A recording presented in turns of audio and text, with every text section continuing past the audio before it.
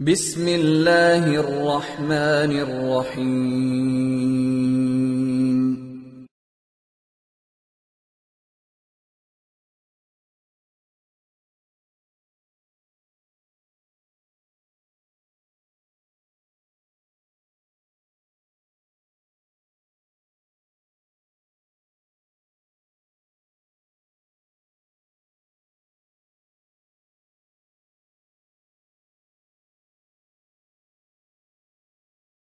السلام على من لا نبي بعده. أما بعد فأعوذ بالله من الشيطان الرجيم. بسم الله الرحمن الرحيم. ما كان محمد أبا أحد من رجالكم، ولكن رسول الله وخاتم النبيين. وكان الله بكل شيء عليما. اللهم صل على محمد وعلى آل محمد كما صليت على إبراهيم وعلى آل إبراهيم إنك حميد مجيد اللهم بارك على محمد وعلى آل محمد كما باركت على إبراهيم وعلى آل إبراهيم إنك حميد مجيد معزز علماء کرام، میرے نہایت واجب الاحترام بزرگوں مسلک آل و سنت والجماعت سے تعلق رکھنے والے خشود نوجوان دوستوں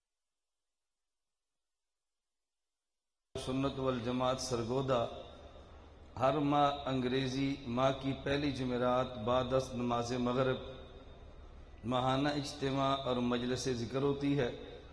اور آج ہمارا ڈویژنل سطح پہ سرگودا تربیتی طلبہ کنونشن بھی تھا۔ مجھے حضرت اقدس مولانا ہزاروی دامت برکاتم کے صاحبزادہ مفتی اویس صلی نے فرمایا کہ ہمارے اس اجتماع میں تیری شرکت بہت ضروری ہے۔ میں نے بعد میں اقدس سے رابطہ کیا۔ میں نے کہا اگر مجھے اجازت مل جائے تو مجھے فائدہ ہوگا کہ ہمارا ماہانہ اجتماع ہے سرگودا وقت میں بہت کم دے پاتا ہوں۔ ہر انگریزی ماہ کے پہلے دس دن میں نے ضلع سکوتا کے لیے رکھے ہیں۔ لیکن اس دفعہ عموماً پاکستان کے عام مدارس کی اجتماع کی وجہ سے میں وقت نہیں دے پایا، مجھے کافی دقت ہوگی۔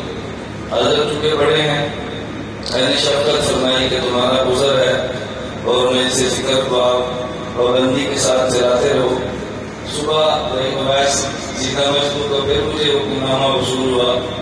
کہ ہماری خواہش ہے کہ تیری شرکت بہت ضروری ہے اور ہم یہ چاہتے ہیں کہ ہمارے سالانہ ختم بخاری کے مبارک موقع پر آپ عنوان عقیدہ حیات النبی اور اکابر علماء دیوبند کے عنوان سے بات کریں۔ اور میری خواہش ہوتی ہے کہ میں دلائل کے ساتھ علماء آل سنت و جماعت علماء دیوبند کے عقائد اور نظریات کو بیان کروں۔ بہت سے احباب غلط فہمی کا شکار ہیں۔ وہ یہ سمجھتے ہیں کہ اس مسئلے پر علماء دیوبند میں اختلاف ہے۔ میں علماء کی موجودگی میں اللہ کی قسم اٹھا کر یہ بات کہہ رہا ہوں، حیات النبی کے عقیدے پر نہ علماء دیوبند میں اختلاف ہے، نہ پیغمبر کے صحابہ میں اختلاف ہے۔ جیسے حضرت نے فرمایا کہ وقت کم ہے اور میری خواہش ہے کبھی آپ راول پنڈی کے حضرات کنونشن مجھے دیں اور تین چار گھنٹے بولنے کا مجھے کھل کر موقع عنایت فرمائیں۔ تو میں کتب کے حوالہ جات کے ساتھ آپ کی خدمت میں پیش کروں گا کہ عقیدہ علماء دیو حیات النبی پہ پیغمبر کے دور سے لے کے آج کے دور تک میں کتب اور حوالہ جات آپ کی خدمت میں پیش کروں گا کہ ہر صدی میں اکابر علماء نے کھل کر اس مسئلے پہ لکھا ہے اور قطن اس مسئلے پر علماء دیوبند میں کوئی اختلاف نہیں۔ لیکن ایک بات میں غلط فہمی کا ازالہ کرتے ہوئے دلائل کے ساتھ بات کہنا چاہتا ہوں۔ بہت سارے احباب کہتے ہیں، تم اکابر کی بات کرتے ہو، ہم پیغمبر کی بات کرتے ہیں، تم اکابر کی بات کرتے ہو، ہم قرآن کی بات کرتے ہیں۔ میں نے کہا ان اکابر کی بات کرتے ہیں جو قرآن کی بات کرتے ہیں، ان اکابر کی بات کرتے ہیں جو پیغمبر کی بات کرتے ہیں۔ اور صحیح بخاری کے نو ہزار بیاسی روایات تم اٹھا کر دیکھو، حضرت امام بخاری نبر اللہ مرکد ہو۔ کتنے احادیث کے اوپر ابواب قائم کرتے ہیں اور اس ابواب کے تحت پیغمبر کی حدیث پیش کرنے کی بجائے پیغمبر کے صحابی کو پیش کرتے ہیں، کبھی صحابی پیش کرنے کی بجائے تابی کو پیش کرتے ہیں اور کبھی تابی کو پیش کرنے کی بجائے تبا تابی کو پیش کرتے ہیں۔ میں کبھی معذرت کے ساتھ علماء سے یہ بات کہتا ہوں کہ بہت سارے مقامات پہ یہاں تو میرے مشاہد اکابر موجود ہیں۔ عام حضرات کا ذہنی ہوتا ہے، بے ختم بخاری کروا لو، مولانا گمن سے بیان کروا لو۔ میں کہتا ہوں، مجھے بخاری پر بولنے کا موقع دو۔ میں انم الامان و بنیاد سے لے کے خدا گواہ ہے کلمتان تک چلتا ہوں اور میں دیکھتا ہوں تراجم اور ابواب میں۔ اور امام بخاری احادیث میں موقف کن کا پیش کرتا ہے؟ ہمارا عام عنوان یہ ہے، ہم نے بخاری کو عوامی لہجے میں بیان کیا جو نہیں ہے۔ میرا مستقل نیٹ پر ایک بیان موجود ہے، بخاری تیرا یا میرا میں نے بخاری کے شیوخ بخاری کے اساتذہ، بخاری کی سندیں اور میں نے رجال پہ کھل کر گفتگو کی ہے تمہیں پتا چلے بخاری تھا کون۔ لیکن میں ایک بات صرف بخاری کے حوالے سے کہنا چاہتا ہوں، اپنے اکابر کو پیش کرنا بطور دلیل کے۔ یہ امام بخاری کا مزاج ہے۔ میں رات بیت جائے صرف ابواب اس پہ پیش کرتا چلا جاؤں، صرف دو باب بطور دلیل کے پیش کرتا ہوں۔ امام بخاری نے مسئلہ بیان کیا ہے، باب سجود الصوب فی شدت الحر۔ اس کے بعد امام بخاری حضرت امام حسن کے بارے میں کہتے ہیں، قال الحسن و کان لقوم یسجدون علی الامامت والقلم سوا۔ امام حسن نے قوم صحابہ کو بطور دلیل کے پیش کیا ہے۔ امام بخاری باب قائم کرتے ہیں، باب الاخذ بالیدین مسافہ دو ہاتھ سے کرنا چاہیے۔ امام بخاری فرماتے ہیں صافہ حماد بن زید ابن المبارک بیدئی ہے۔ حماد بن زید نے ابن مبارک سے دو ہاتھوں سے مسافہ کیا تھا۔ تو امام بخاری تو اکابر کی بات کرتا ہے۔ بخاری مانتا ہو اور پھر اکابر کی بات نہ کرے، مجھے تعجب ہے تیری عقل پہ۔ کبھی قرآنی آیات آیات ہمارے خلاف پیش کریں گے اور اس سورہ بقرہ آیت نمبر 170 میں موجود ہے۔ اللہ فرماتا ہے، وَإِذَا قِيلَ لَهُمُ اتَّبِعُوا مَا أَنزَلَ اللَّهُ، کہ اللہ کہتا ہے، ان سے جب کہا جائے، قرآن کی بات مانو، کہتے ہیں، بَلْ نَتَّبِعُوا مَا أَلْفَيْنَا عَلَيْهِ، ہم تو اس کی بات مانیں گے جو ہمارے اباء اجداد کا مذہب تھا، لیکن تمہارے اس نظریے کی قرآن آگے خود تردید کرتا ہے۔ قرآن کہتا ہے، اولو کون آباؤہم، لا یاکلون شیئم ولا یہتدون اس باپ کی بات مانو گے جس میں عقل بھی نہیں تھی، اس کی بات مانو گے جو ہدایت پر بھی نہیں تھا۔ پتہ چلا کہ باپ عقل والا ہو تو بات مانتے ہیں، باپ ہدایت والا ہو تو بات مانتے ہیں۔ مجھے تم بتاؤ کابر علماء دیوبند عقل والے نہیں تھے؟ اکابر علماء دیوبند ہدایت یافتہ نہیں تھے۔ عقل اور ہدایت والے کی بات ماننا، یہ قرآن کے خلاف نہیں ہے۔ تمہیں کس احمق نے دھوکے کے اندر ڈالا ہے؟ خیر، میں نرس کیا، میں تمہید چھوڑ کے بات کرتا ہوں۔ میرا یہ دعویٰ ہے، عقیدہ حیات النبی علماء دیوبند کا متفق علیہ عقیدہ ہے۔ اور میں چیلنج کے ساتھ بات کہوں گا، پورے مجمع ایک چٹ پیش کر دی جائے۔ اکابر علماء دیوبند میں کوئی ایسا دیوبندی بزرگ موجود ہو، فریقین جس کی طرف اپنی نسبت کرتے ہو اور اس کا عقیدہ حیات النبی کا نہ ہو، تو میں ایک چٹ پوچھے پیش کر دو، میں اپنے موقف سے پیچھے ہٹ جاؤں گا۔ یہ موقف میرا نہیں ہے، میرے اکابر علماء دیوبند کا موقف موجود ہے۔ میں آپ کی خدمت میں کتب پیش کرتا ہوں۔ میرے پاس صحیح بخاری، جلد اول صفحہ پانچ سو سترہ موجود ہے۔ اب میں کھول کر دکھاؤں گا، تو بات لمبی ہوگی۔ شیخ محدث سارنپوری رحمۃ اللہ علیہ، یہ وہ شخص ہے جو دیوبند کا بانی ہے۔ اس نے دیوبند پہ اینٹ رکھی ہے۔ پانچ اینٹیں دیوبند کے بانی رکھی ہے۔ ان میں ایک نام شیخ احمد سارنپوری ہے۔ شیخ احمد سارنپوری رحمۃ اللہ علیہ فرماتے ہیں، بل احسن ان یقال ان حیاتہ اللہ کے پیغمبر کے بارے میں، کہ پیغمبر کے بارے میں بہتر یہ ہے کہ بات یہ کی جائے کہ لا تقبها موتن پیغمبر کی حیات کے بعد قبر میں موت نہیں آتی، بل یستمر حیا، بلکہ پیغمبر ہمیشہ قبر میں زندہ رہتا ہے۔ میرے ہاتھ میں کتاب موجود ہے، ہدیہ شیعہ حد مولانا قاسم نوتوی رحمۃ اللہ علیہ کی کتاب ہے۔ صفحہ نمبر تین سو انسٹھ پہ لکھتے ہیں تمام انبیاء بالیقین اپنی قبروں میں زندہ ہے مولانا قاسم نوتوی کا موقف۔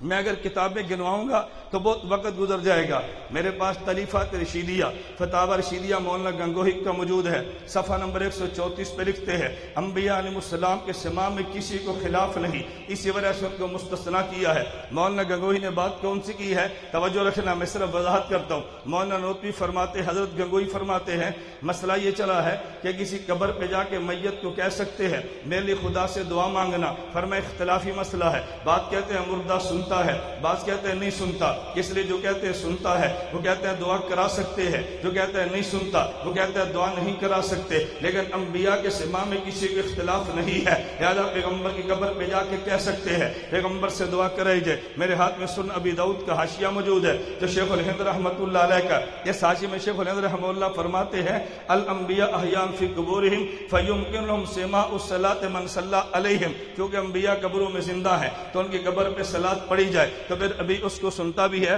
میرے ہاتھ میں بدل موجود موجود ہے۔ شیخ ذکریہ رحمۃ اللہ علیہ کے شیخ حت سہارنپور نے لکھی ہے۔ فرماتے ہیں اللہ ان نبی اللہ صلی اللہ علیہ وسلم حی فی قبرہ کما ان الانبیاء علیہ السلام احیاء فی قبورہم۔ ہمارے نبی قبر میں ایسے زندہ ہیں جیسے بقیہ تمام انبیاء اپنی قبروں میں زندہ ہیں۔ اشرف الجواب حکیم الامت تھانوی کا موجود ہے۔ صفحہ نمبر تین سو اکیس پہ لکھتے ہیں، بہرحال یہ با اتفاق کی امت ثابت ہے۔ انبیاء علیہ السلام اپنی قبروں میں زندہ ہے الشہاب کتاب الساکر میرے ہاتھ میں، حسین مدنی رحمۃ اللہ علیہ، شیخ العرب العجم کی کتاب ہے، جو احمد رضا خان کے اشکالات کے جواب میں لکھی گئی ہے۔ شیخ فرمات حضرت علیہ السلام، قبر مبارک میں زندہ ہے صفحہ نمبر تین سو بیس، الشہاب الساکب کا مطالعہ فرمائیے۔ میرے ہاتھ میں کتاب خطبات حکیم الاسلام موجود ہے۔ قاری محمد طیب نظر اللہ مرکدہ صفحہ نمبر اٹھارہ پہ لکھتے ہیں، علماء دیوبند صرف یہی نہیں کہتے۔ حضور اکرم صلی اللہ علیہ وسلم قبر مبارک میں، مٹی میں بالکل سے سالم محفوظ اور محفوظ رہے گا، بلکہ علماء دیوبند کا عقیدہ یہ ہے کہ نبی کریم صلی اللہ علیہ وسلم آج بھی اسی طرح سے جسم کے ساتھ زندہ ہے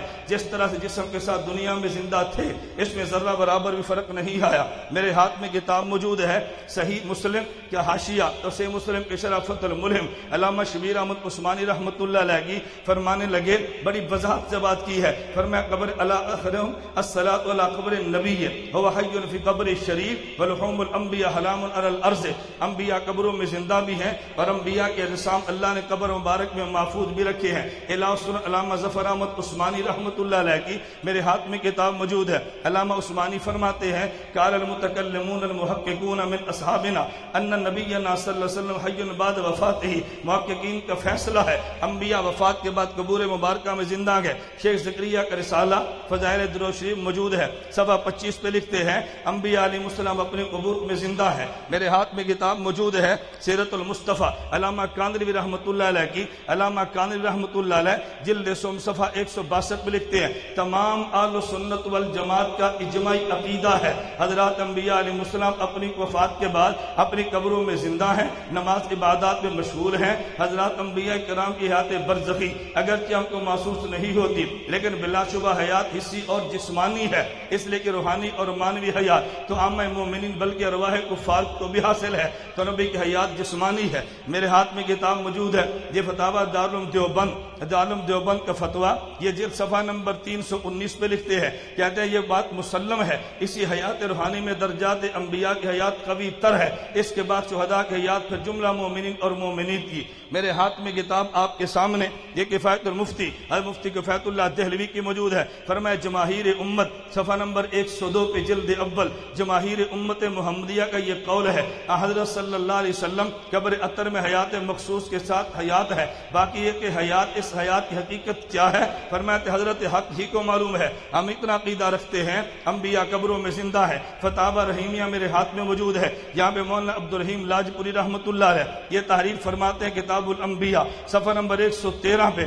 کھل کر بات کی ہے۔ انبیاء علیہ السلام قبور مبارک میں زندہ۔ حدیث شریف سے ثابت ہے، حضرات انبیاء علیہ السلام اپنی قبروں میں حیات ہے اور نماز پڑھتے ہیں۔ میرے ہاتھ میں کتاب موجود ہے۔ فتح مفتی محمود توجہ رکھیں۔ یہ فتح مفتی محمود کن کا ہے؟ حضرت مفتی اعظم، مفتی محمود رحمۃ اللہ علیہ کون نہیں جانتا؟ اور میرے دوست آپ کے علم میں ہونا چاہیے۔ میں مانسیرا میں گیا، مجھے با حضرات کہنے لگے، مولانا حیات النبی کا تذکرہ نہ کرنا۔ میں نے کہا، عقیدہ تم نے لکھا ہے، تذکرہ میں نہ کرنا۔ کہتے رہی کیا مطلب؟ کہتے ہیں ہمارے ماحول کو خراب نہ کرنا۔ میں نے کہا اگر ماحول کو خراب کرنا ہے تو پھر مفتی محمود رحمۃ اللہ علیہ سے پوچھو۔ مجھے کہتے رہی کیا مطلب؟ میں نے کہا جب حیات النبی کے مسئلے پر اختلاف ہوا، مفتی محمود رحمۃ اللہ علیہ نے جمعیت علماء اسلام کی مرکزی شورا کا اجلاس جامعہ مدنیہ لاہور میں بلوایا۔ پانچ رکنی کمیٹی بنی ہے عقیدہ حیات النبی پر کتاب لکھنے کے لیے اور انتخاب شیخ سرفراز کا ہوا۔ تسکین الصدور لکھی ہے۔ حیات النبی پہ کتاب تو لکھوائی جمعیت اور مفتی محمود نے ہے۔ میں نے بیان کیا تو مجرم بنا۔ تم نے کتاب کتاب لکھوائی تو کوئی جرم نہیں ہے۔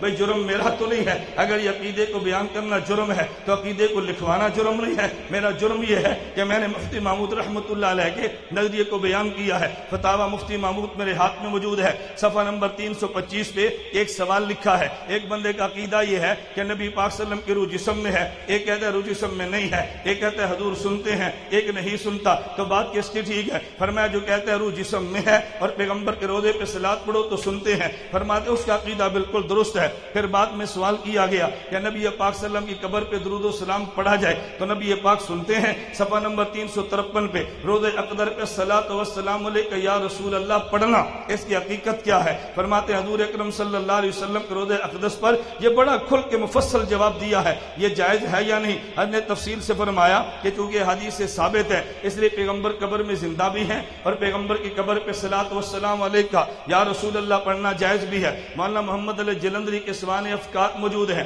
اس کے صفحہ نمبر تین سو چوبیس پہ یہ کھل کے لکھا، ہمارا عقیدہ یہ ہے، ہم آل و سنت حضور پاک صلی اللہ علیہ وسلم کو دنیاوی جست اطر میں جو حیات مانتے ہیں، وہ ان روح کے تعلق سے مانتے ہیں۔ پتری حیات انسانی روح سے نہیں اکثر خالی ہوتی ہے۔ اس لیے اس پتری حیات کا قابر آل و سنت میں سے کوئی بھی قائل نہیں جو حضرت کے دنیاوی جست اطر میں اس پتری حیات کا قائل ہو۔ آل و سنت والجماعت کے اجماعی عقیدے کا منکر ہے۔ میرے ہاتھ میں کتاب موجود ہے۔ آ آسن الفتاوہ حضرت مفتی رشید احمد ردوانی رب اللہ مرقدہ کا صفحہ نمبر پانچ سو اکسٹھ پہ ایک لمبی بحث کی ہے۔ اگر میں بحث کروں گا تو بہت بات بڑی ہو جائے گی۔ حضرت نے بحث کی ہے کہ یہ قرآن کریم میں آیت ہے، ولو انم اذلم انفسهم جاؤ کا فاستغفر اللہ اگر کوئی بندہ گناہ کر لے، پھر نبی کے پاس آئے اور حضور سے دعا کرائے، تو دعا کروانا جائزہ کہ نہیں؟ پر میں اس زندگی میں بھی جائز تھا اور پیغمبر کی وفات کے بعد قبر پہ جا کے دعا کرانا بھی جائز ہے۔ پر میں اس کی وجہ کیا ہے؟ وجہ الاستدلال بها انه صلی اللہ علیہ وسلم حی فی قبر بعد موت ہی، جو کہ پیغمبر بہت کے بعد قبر مبارک میں زندہ ہے، لہذا نبی کی قبر پہ جا کے کہہ سکتے ہیں، حضور امالی دعا فرمائیے، میرے ہاتھ میں موجود فتاوہ حقانیہ ہے، میں پورے ملک کے فتاوہ جات پیش کر سکتا تھا، میں نے چند کتابیں آپ کی خدمت پہ پیش کی ہیں فتاوہ حقانیہ میں لکھا، عقیدہ حیات انبیاء علیہ السلام کا ثبوت، کھل کے بات لکھی، حضور انور صلی اللہ علیہ وسلم اور دیگر تمام انبیاء علیہ السلام کے بارے میں، تمام آل و سنت والجماعت اور جملہ قابل علماء دیوبند کا مسلک یہ ہے کہ وفات موت کے بعد تمام انبیاء علیہ السلام اپنی قبروں میں زندہ ہیں۔ تمام آل و سنت والجماعت کا عقیدہ یہ میرے ہاتھ میں کتاب موجود ہے۔ حضرت حافظ الحدیث نمبر جو شیخ درخواستی کے حالات پہ لکھا گیا ہے۔ شیخ درخواستی کا قصیدہ چلا۔ مجھے ایک ساتھی نے ایک میسج کیا۔ یہ میسج آج کل بھی چلتا ہے کہ نبی کے روزے پہ لکھے گئے اشعار اس غلط فہمی میں نہ رہنا اس کا مطلب یہ نہیں ہے کہ نبی پہ روزے پہ لکھے ہوئے ہیں۔ اس کا مطلب یہ ہے حضور کی قبر کے پاس بیٹھ کے لکھے گئے ہیں۔ اس کا مطلب صرف یہ ہے، اس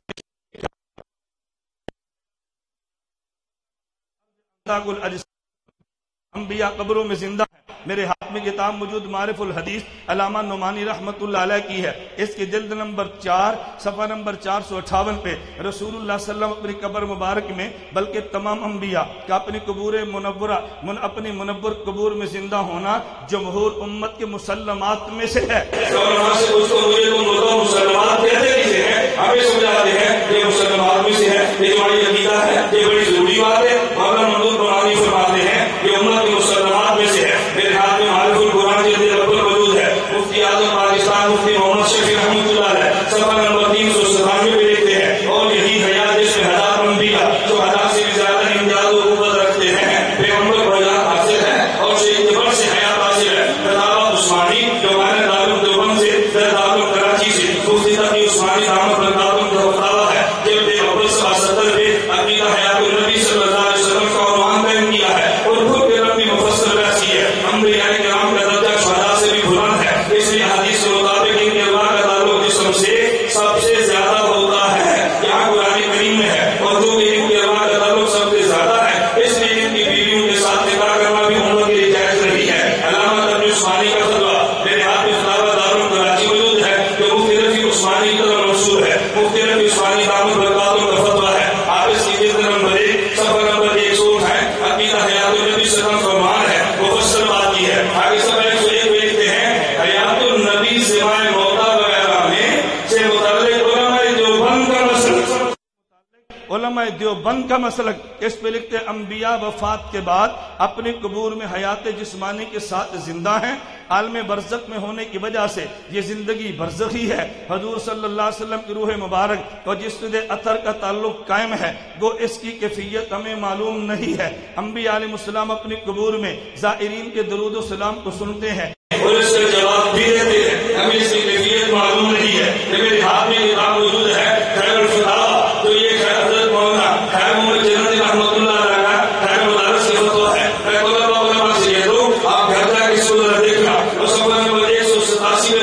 آپ گھر